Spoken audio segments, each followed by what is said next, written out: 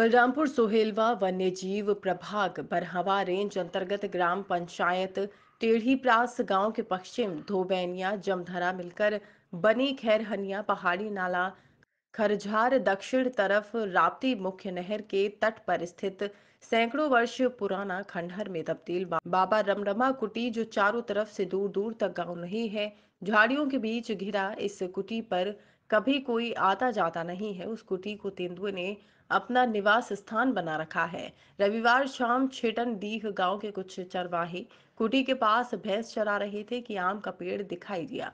आम तोड़ने लगे, उसी बीच मादा तेंदुए के साथ दो शावक दिखाई दिए। तुरंत मोबाइल से वीडियो बनाकर ग्राम प्रधान टेढ़ी प्रास रामनिवास यादव को जानकारी दी। वीडियो कुछ मिनटों में वायरल होकर आसपास के लोगों के पास पहुँच गया। स्थानीय लोगों की भीड़ बढ़ गई।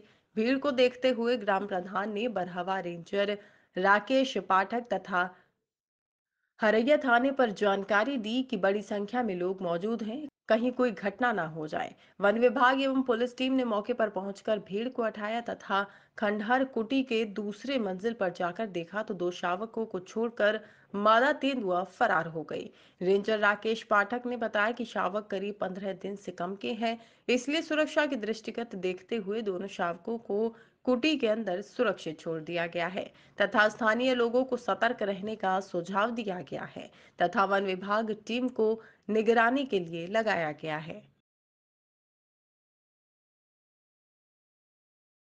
राम निवास यादव ग्राम प्रधान टेढ़ी प्रास क्या मामला है आपके हमारे यहाँ आज दोपहर वही लमसम एक बजे गाँव छिटंडी गाँव के कुछ बच्चे यहाँ आम तोड़ने आए थे।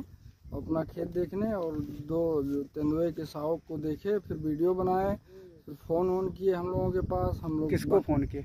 गाँव वाले तो हमारे पास फ़ोन किए हमने जो है रेंजर साहब के पास फ़ोन किया फिर दफ्तर बाबू को थाने पर।